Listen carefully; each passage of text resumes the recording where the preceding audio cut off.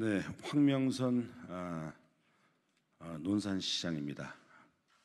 아, 아, 요즘 음, 육군 사관학교와 관련돼서 어, 여러 가지 의견이 있습니다.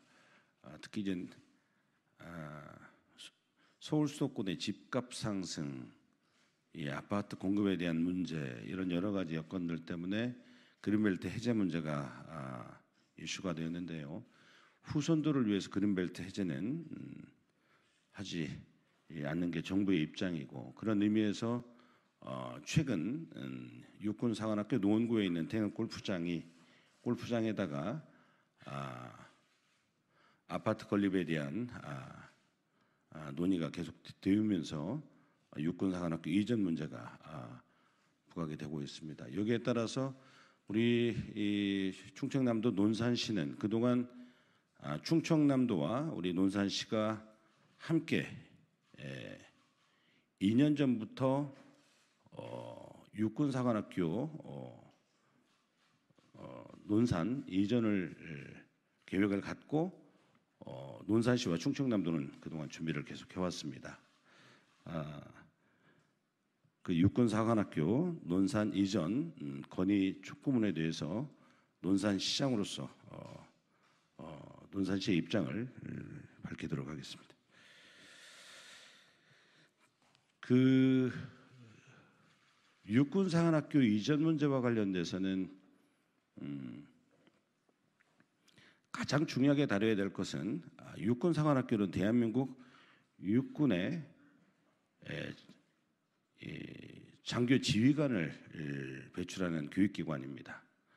아, 특히 이 지금 현재 에, 육군 사관학교가 역사를 갖고 노원구 노원구에 에, 지금 있습니다만은 이 공간의 에, 협소 그리고 어, 두 번째는 차세대 요즘에 이 4차 혁명 시대에서 차세대 육군 장교를 양성하는데 에, 그 여건들이 지금 미비합니다.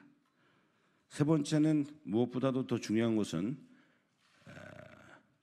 육군사관학교 어, 생도 여러분들이 1, 2, 3학년 동안 3, 4학년 동안 아, 여러 가지 과정들이 있습니다만은 아, 국방 관련 기원과의 연계성이 현실적으로 취약하다 이런 부분에 대한 지적이 있습니다. 그런 의미에서 또한 무엇보다도 대도시에서 육군 사관학교에 대한 학교에 대한 시설에 대한 확장 문제에 대해서는 한계가 있을 수밖에 없다. 그런 의미에서 어, 대한민국 육군 사관학교 어, 학생들을 대한민국 육군의 에, 장교의 지휘관으로 어, 어, 성장을 시킴으로 인해서 우리나라 아, 군 전력 체계를 강화시키는 가장 큰 의미가 있을 텐데요.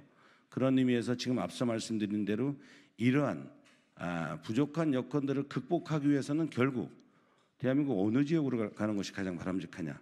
바로 저는 대한민국 국방과 병영의 도시, 바로 충청남도 논산이라고 말씀을 드립니다. 저희 우리 논산은 음, 음, 아, 군 교육기관들이 지금 세계에 있습니다. 뭐 대한민국 우리 국민 여러분들이 아시다시피 에, 논산 육군 훈련소 그리고 아, 국방대학교 그리고 육군의 항공학교, 인근의 삼군본부, 또 인근의 에, 부사관 학교까지 이렇게 군 교육기관들이 집약화되어 있고요.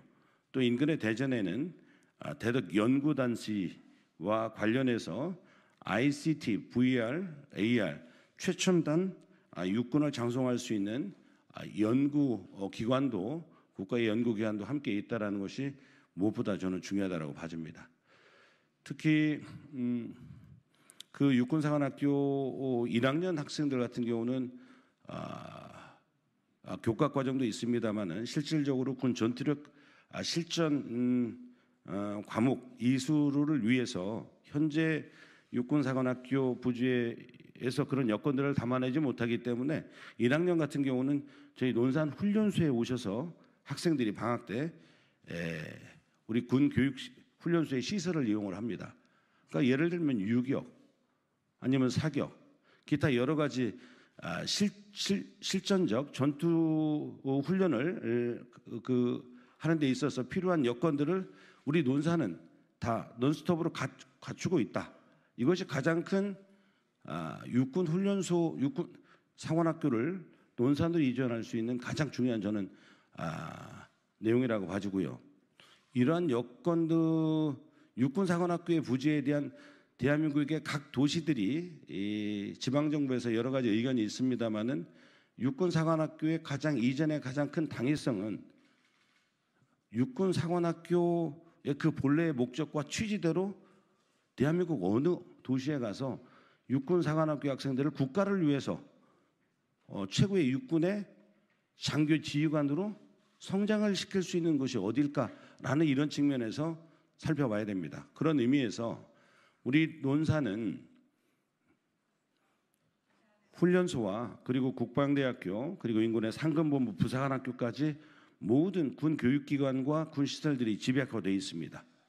이제는 육군 상원학교 학생들이 예, 지금 현재 위치에서는 아, 다른 도시로 가서 훈련을 받아야 되는데 이제는 우리 충청남도 논산의 예, 국방의 도시에 오게 되면 아, 그렇게 분산돼서 교육을 을 받으러 어, 그런 어려움을 극복할 수 있는 유일한 부지가 바로 대한민국 충청남도 논산이다. 그런 의미에, 의미에서 말씀을 드리고요.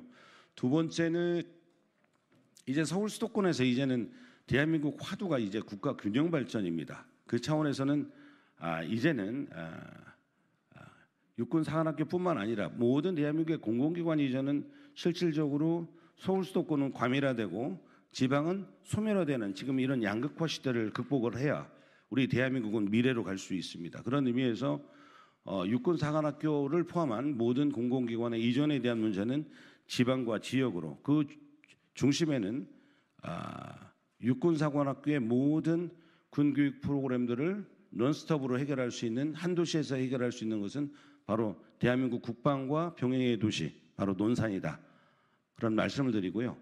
어, 그러므로 인해서 우리 육군 상한학교 어, 학생들이 이 졸업하면서 군의전 지휘관으로서 장교로서 어, 군복무를 하게 되는데 예, 그 목적과 취지에 맞게끔 정예의 군 아, 육군 상한학교 우리 그 군 장교들을 성장시킬 수 있도록 우리 논산은 논산과 아, 대한민국 충청남도는 책임 있게 예, 그렇게 여건들을 다 해내겠다 이런 말씀을 드리면서 충청남도 논산 이전에 대해서 강력하게 에, 에, 이전해 줄 것을 정부에다가 촉구를 하고 향후 충청남도 어, 지사님과 그리고 우리 김정민 국회의원님과 아, 그리고 어, 저와 함께 좀 더 본격적으로 어, 육군 사관학교 어, 논산 이전에 대해서 정부에 강력하게 에, 건의하고 어, 촉구할 생각입니다. 음, 이런 정도 어, 말씀드리겠습니다. 감사합니다.